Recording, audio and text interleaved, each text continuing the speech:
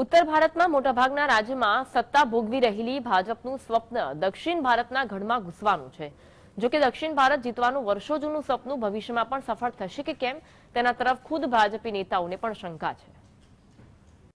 દક્ષિણ ભારતમાં આંધ્રપ્રદેશ, કર્ણાટક, કેરળ, પુંડુચેરી, તમિલનાડુ, તેલંગાણામાંથી ફક્ત કર્ણાટકમાં જ ભાજપ પોતાના જોરે સરકાર બનાવી શકી છે. પુંડુચેરીમાં જો કે ભાગીદારીમાં સરકાર ચલાવી રહી છે. દક્ષિણ ભારતના આ છ રાજ્યોમાં લોકસભાની કુલ એકસો ત્રીસ સીટ છે. જેમાંથી માત્ર ઓગણત્રીસ સીટ ભાજપ પાસે છે. કેરળ, તમિલનાડુ, આંધ્રપ્રદેશમાં ભાજપ પાસે એક પણ લોકસભાની સીટ નથી. અંદરની વાત મુજબ ભાજપના માથે રહેલું નોર્થ ઇન્ડિયન પાર્ટીનું ટેગ હટવું મુશ્કેલ છે. દક્ષિણના રાજ્યોમાં સ્થાનિક પાર્ટીના વર્ચસ્વ સામે ભાજપનો પોતાનો કોઈ મોટો ચહેરો નથી.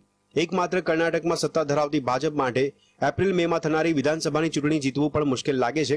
કર્ણાટકમાં હારી તો દક્ષિણના અન્ય રાજ્યના દરવાજા તેની માટે બંધ થઈ જશે તેનું પણ ભાજપને ટેન્શન છે. Bureau report GST